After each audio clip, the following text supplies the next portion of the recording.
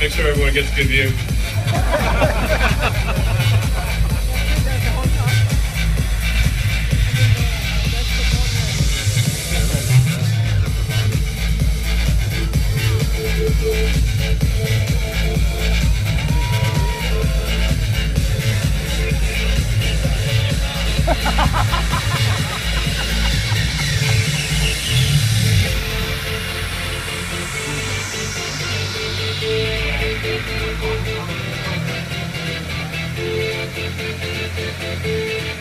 do a little little wave and then